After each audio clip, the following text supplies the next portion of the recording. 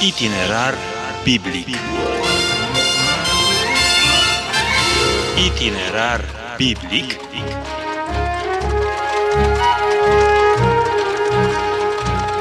Itinerar biblic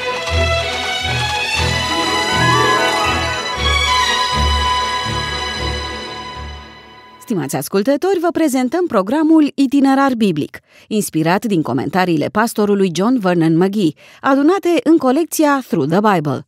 Adaptare și prezentare, pastor Sorin Covaci.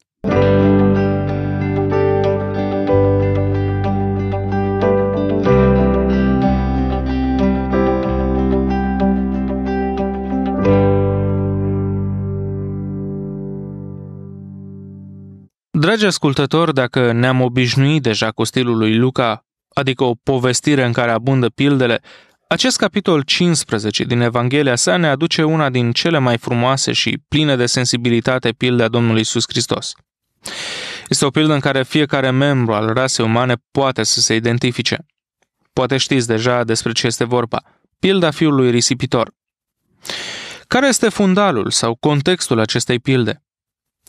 Vameșii și păcătoșii veneau în număr mare după Domnul Isus. Farisei și cărturarii au început să cârtească, să-l critique pe Domnul pentru că petrecea prea mult timp cu aceștia. Conducătorii religioși erau scandalizați de faptul că Domnul Isus Hristos îi primea și chiar mânca împreună cu vameșii și păcătoșii, cei pe care ei îi respingeau. Răspunsul Domnului față de nemulțumirea fariseilor și a cărturarilor este o pildă. În mod obișnuit, se consideră că este vorba de trei pilde aici. Pilda cu oaia pierdută, apoi pilda cu moneda pierdută și, în cele din urmă, pilda fiului risipitor. De fapt, este vorba despre cele trei părți ale aceleași pilde. Sunt trei imagini în aceeași ramă, dacă vreți. Toți vameșii și păcătoșii se apropiau de Isus ca să-l asculte. Și farisei și cărturarii cârteau și ziceau – Omul acesta primește pe păcătoși și mănâncă cu ei. Într-adevăr, dragi prieteni, Domnul Isus primește pe oricine. Ne primește și pe noi, oricine am fi și oricare ar fi numele nostru. Și fie ca noi să-i dăm mulțumiri lui Dumnezeu pentru lucrul acesta, pentru faptul că Domnul încă îi mai primește pe păcătoși. Și noi suntem păcătoși și noi avem nevoie să fim primiți de Dumnezeu. Dar acesta nu este decât contextul în care apare prima pildă. În acesta avem prima imagine, imaginea oii care s-a pierdut. Dar el le-a spus pilda aceasta. Care om dintre voi, dacă are o sută de oi și pierde pe una din ele, nu lasă pe celelalte 99 pe izlaz și se duce după cea pierdută până când o găsește. După ce a găsit-o, o pune cu bucurie pe umeri și când se întoarce acasă, cheamă pe prietenii și vecinii săi și le zice Bucurați-vă împreună cu mine că mi-am găsit oaia care era pierdută. Tot așa, vă spun că va fi mai multă bucurie în cer pentru un singur păcătos care se pocăiește decât pentru 99 de oameni neprihăniți care n-au nevoie de pocăință. Păstorul din această pildă, cum uh, cred că bănuiți deja, este marele păstor, Domnul nostru Isus Hristos. Noi suntem turma lui. El are o sută de oi, dintre care una s-a rătăcit. Ca să fiu sincer, procentual, acesta ar fi mai nimic. Să încep cu 100 de oi și să rămâi cu 99, hm, nu este mare lucru. Și totuși, acest păstor nu a fost satisfăcut doar cu 99 de oi. Dumnezeu nu calculează procentual. Când s-a pierdut una din noi, el a plecat în căutarea ei. Când a găsit-o, a pus-o pe umeri locul tăriei sale și o duce înapoi în turmă. Dragii mei, el poate să mântuiască în chip de săvârșit. Marele preot al poporului lui Israel purta un efod. Pe umerii efodului se aflau două pietre. Pe fiecare din aceste două table de piatră erau gravate numele a câte șase seminții. Marele nostru preot ne poartă pe umerii săi, astfel încât noi să nu ne pierdem. Dacă el începe cu 100 de oi, în final va avea tot 100 de oi, nu doar 99. Aceasta este o imagine a Domnului Iisus Hristos și a grijii pe care El o are față de cei ce sunt ai Lui. Cea de-a doua imagine din acest tablou, în trei ipostaze, este cea a monedei pierdute. Sau care femeie, dacă are 10 lei de argint și pierde unul din ei, nu aprinde o lumină, nu mătură casa și nu caută cu băgare de seamă până când îl găsește. După ce l-a găsit, cheamă pe prietenele și pe vecinele ei și zice Bucurați-vă împreună cu mine că ce am găsit leul pe care îl pierdusem. Tot așa, vă spun că este bucurie înaintea îngerilor lui Dumnezeu pentru un singur păcătos care se pocăiește. Probabil că moneda făcea parte dintr-un șir de bănuți care forma o piesă ce arăta statutul de femeie căsătorită. A pierde o părticică din acest șir era la fel de rău ca a pierde o piatră din inelul de logodnă de astăzi. Femeia îl reprezintă pe Duhul Sfânt, a cărui misiune este aceea de a se asigura că toți cei care sunt ai mielului vor fi prezenți la nuntă. Fiecare monedă va fi la locul ei. Fiecare monedă este valoroasă în ochii lui. Așa cum am mai menționat deja, doctorul Luca, medic și om de știință, era și artist. El este cel care ne prezintă glorioasele pilde ale Domnului care nu se mai găsesc în niciuna din celelalte evanghelii, iar pilda fiului risipitor este una deosebită. Iată cum sună ea. El a mai zis, un om avea doi fii. Aici este fundalul, este țesătura pe care Domnul o face. Eu văd aici o casă frumoasă, pentru că aceasta reprezintă casa Tatălui Ceresc și este o casă glorioasă. Este o casă înzestrată cu tot confortul, toate bucuriile și toată dragostea care a intrat vreodată într-o casă. În casa aceea se află un om, care este Dumnezeu Tatăl. Și acest tată avea doi fii. Tatăl Ceresc are mai mult de doi fii, dar aceștia sunt reprezentativi pentru două categorii de oameni. Unul din acești fii este fiul cel mai tânăr, iar celălalt este numit fiul cel mai mare. Vedem așadar casa aceea frumoasă și pe tatăl stând în fața ușii împreună cu cei doi fii ai săi. Acum să vedem ce mai adaugă Domnul acestei imagini. Cel mai tânăr din ei a zis tatălui său, Tată, dăm partea de avere ce mi se cuvine. Și tatăl le-a împărțit averea. Nu după multe zile, fiul cel mai tânăr a strâns totul și a plecat într-o țară îndepărtată, unde și-a risipit averea, ducând o viață destrăbălată. În această casă frumoasă, în care se găsea orice și-ar fi putut dori inima omului, dragoste, bucurie, părtășie, mângâiere, fiul cel mai tânăr face un lucru foarte ciudat. El spune, m-am săturat de disciplină, nu-mi place aici. Vreau să mă întind aripile chinuite până acum. M-am uitat peste pășunile vecine și mi se par mai verzi și mai frumoase decât ale noastre. Nu știu de ce este așa, dar tuturor ni se pare mai verde iarba din grădina vecinului.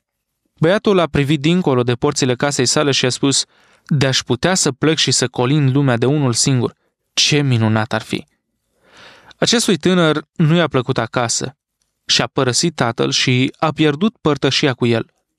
Tatăl i-a dat partea ce îi se cuvenea din avere și băiatul a plecat cu buzunarele pline de bani, pentru care el nu muncise. Nu făcuse nimic pentru ei. Tot ce a primit fiul cel mai tânăr vreodată îi fusese dat de tatăl. Nu obținuse tot ce avea când a plecat de acasă pentru că era priceput, nici pentru că era inteligent, nici pentru că muncise din greu. Tânărul avea acești bani în buzunar numai pentru că avea un tată foarte generos. Așadar, fiul cel mai tânăr pleacă la drum într-o țară îndepărtată. Dragii mei, scena este neobișnuită. Pentru o lume orientală, o astfel de cerere era una foarte neobișnuită.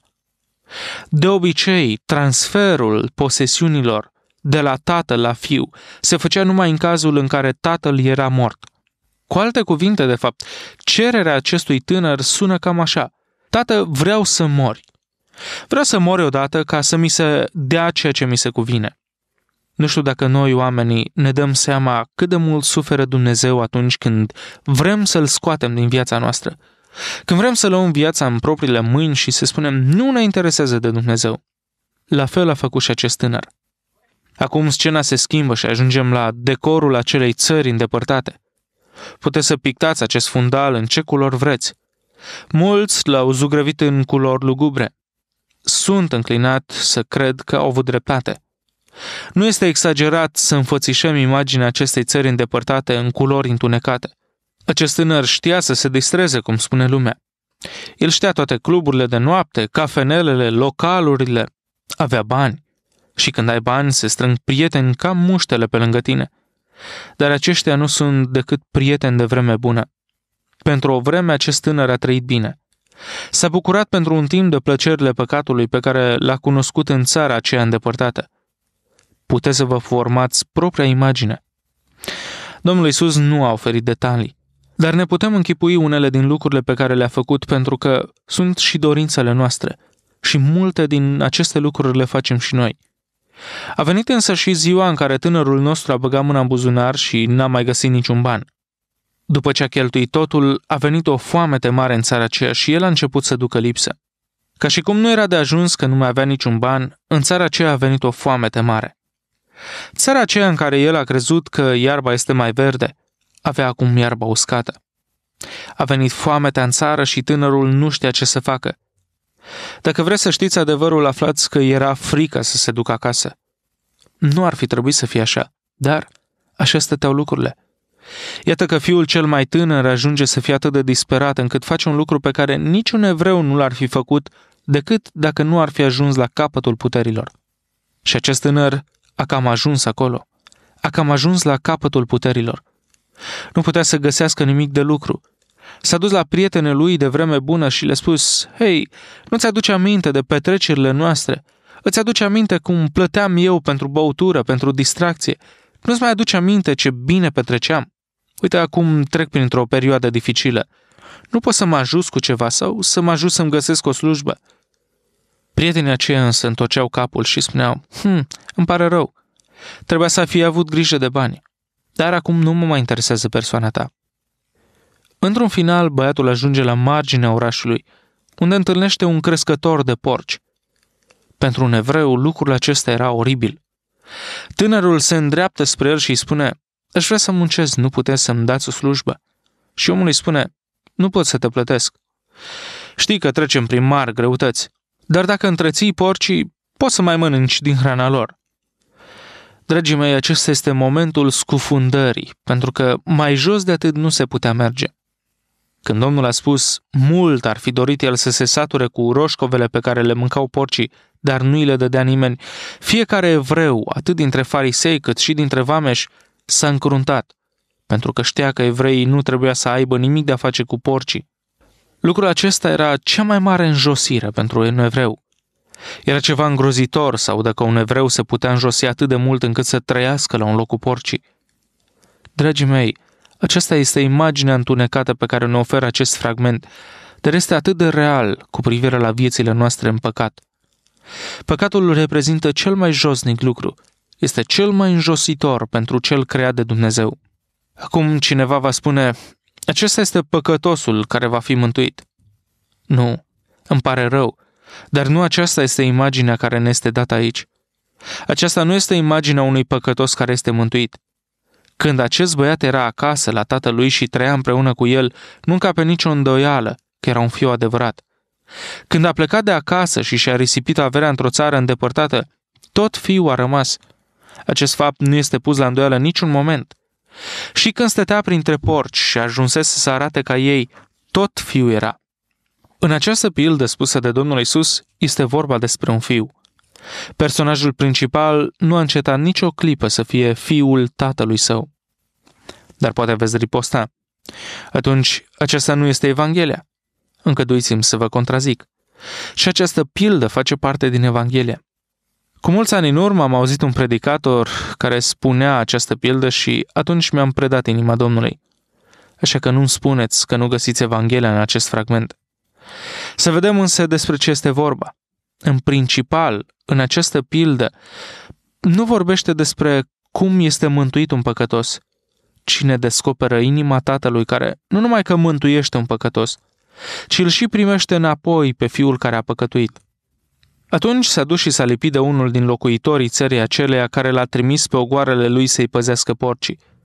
Mult ar fi dorit el să se sature cu roșcovele pe care le mâncau porcii, dar nu îi le dădea nimeni. Poate ați crezut că exagerez acum câteva minute când am spus că niciunul din așa zis și săi prieteni nu l-au ajutat. Domnul Isus spune foarte clar că nimeni nu-i dădea tânărului acelea nici măcar roșcove cu care se hrăneau porcii. De ce au oare creștinii impresia că omul din lume este cu adevărat prietenul lui când tot ce face este să se atragă spre păcat și să îi îndepărteze de Dumnezeu? Acest tânăr a avut aceeași impresie. A fost îndepărtat de tatăl său, fiind dus din ce în ce mai departe și tot timpul a crezut că oamenii aceia erau prieteni. Nu ni se spune că acest băiat ar fi scris acasă. Dacă ar fi scris, poate că ar fi sunat cam așa aceste scrisori. Trebuie să veniți și voi aici. E grozav, mi-am făcut prieteni și ne distrăm de minune. Însă a venit și ziua în care a descoperit că nu avea deloc prieteni. Nu avea pe nimeni alături, nici măcar pe cineva care să-i dea cea mai slabă mâncare, mâncarea porcilor. Dar acestea sunt culorile sumbre. Haideți să vedem și culorile vii folosite de Domnul pentru a picta acest tablou. Acesta este stilul de lucru al Domnului Isus. Pe un fundal întunecat, el pune culori luminoase care să ne atragă atenția în prim planul picturii. Ați observat că așa pictează Domnul? Care este fundalul întunecat aici? Păcatul băiatului care a plecat de acasă, s-a îndepărtat de țara sa și de tatăl său, a pierdut părtășia cu el și acum trăiește într-o cocină de porci. Să vedem care sunt culorile luminoase puse de Domnul aici. Și a venit în fire și a zis, Câți argați ai tatălui meu au belșug de pâine, iar eu mor de foame aici. El și-a venit în fire. Păcatul, dragii mei, face un lucru groaznic. Ne face să vedem lumea într-un mod nepotrivit, distorsionează perspectiva noastră cu privire la lumea în care trăim. Ne face să ne vedem pe noi înșine într-o lumină nepotrivită. Ne face să vedem plăcerile lumii într-o perspectivă greșită. Pur și simplu nu vedem bine când suntem acaparați de păcat. Acest tânăr vedea țara îndepărtată mai verde și mai frumoasă decât țara sa.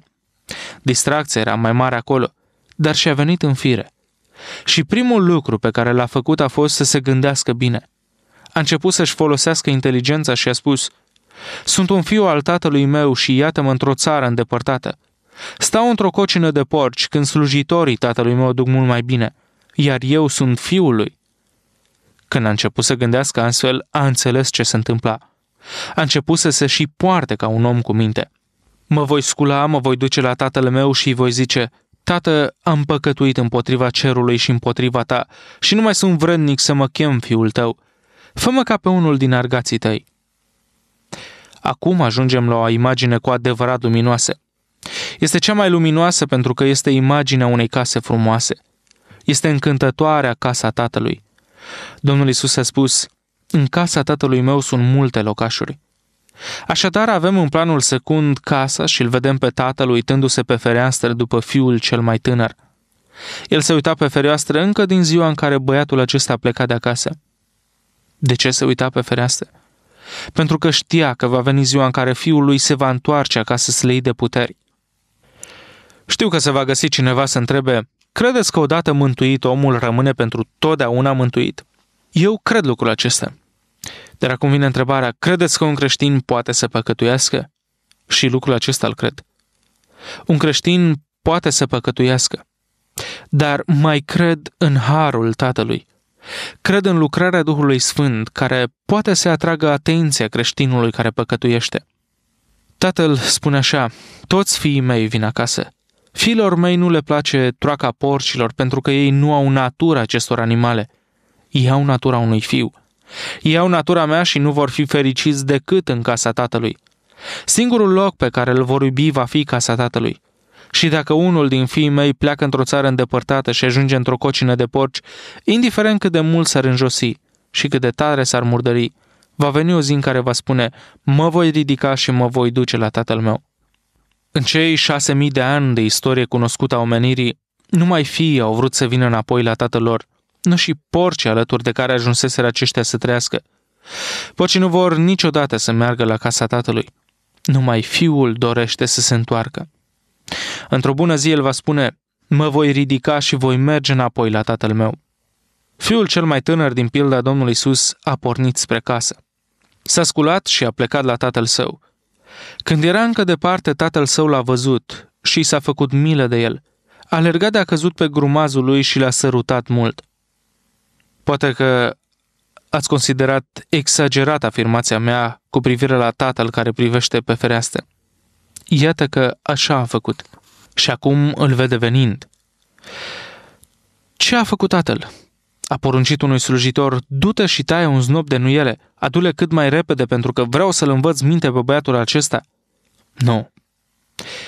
Tatăl acesta a dat ordin să se taie vițelul îngrășat. A dat ordin să se aducă ce era mai bun pentru fiul său, pentru că se întorcea acasă. Da, ar fi avut dreptul să-l disciplineze. Fiul acesta merita disciplina. Dar tatăl a arătat dragostea. Fiul i-a zis, Tată, am păcătuit împotriva cerului și împotriva ta. Nu mai sunt vrednic să mă chem fiul tău. Probabil era un discurs deja memorat. El îi spune tatălui ceea ce plănuise cât era încă departe, în țara cea îndepărtată. Cred că a repetat acest mic discurs tot timpul drumului spre casă. El și-a spus la fiecare pas. Când ajung acasă îi voi spune tatălui meu, Tată, am păcătuit împotriva cerului și împotriva ta și nu mai sunt vrednic să fiu fiul tău, dar lasă-mă să fiu unul din argații tăi. Abia acum simțea nevoia părtășiei cu tatăl. El a început să spună aceste cuvinte tatălui său, dar nu ajunge prea departe. A fost întrerupt după ce a spus, nu mai sunt vrednic să mă chem fiul tău. Dar tatăl a zis robilor săi, aduceți repede haina cea mai bună și îmbrăcați-l cu ea. Puneți un inel în deget și încălțăminte în picioare. Aduceți vițelul cel îngrășat și tăiați-l, să mâncăm și să ne veselim, căci acest fiu al meu era mort și a înviat, era pierdut și a fost găsit. Și au început să se veselească. Dacă vreți cu adevărat să petreceți, nu vă veți bucura de așa ceva într-o țară îndepărtată. Dacă sunteți un copil al lui Dumnezeu, nu puteți să păcătuiți și să scăpați nepedepsiți. Poate că veți ajunge chiar într-o cocină cu porci, dar nu vă veți bucura de ceea ce vă oferă țara aceea. Dacă sunteți un fiu al tatălui, va veni o zi în care veți spune, mă voi scula și mă voi întoarce la tatăl meu. Și vă veți întoarce. Și când veți ajunge, îi veți spune păcatele.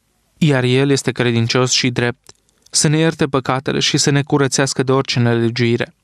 Dragii mei, vom vedea însă că nu toată lumea se bucură și ar fi bine să știm de ce, dar aceasta pentru data viitoare. Aici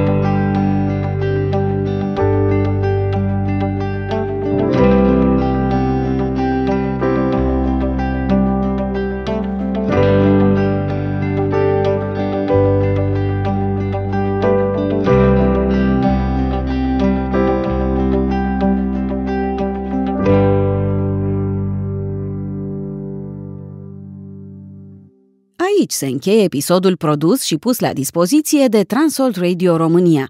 Vă anunțăm că suntem interesați de efectele sale în viața dumneavoastră.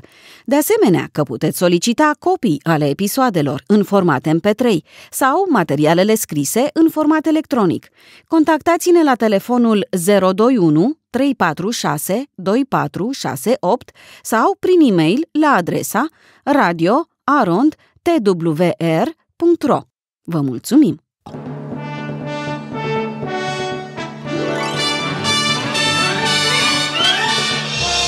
Itinerar biblic. Itinerar biblic.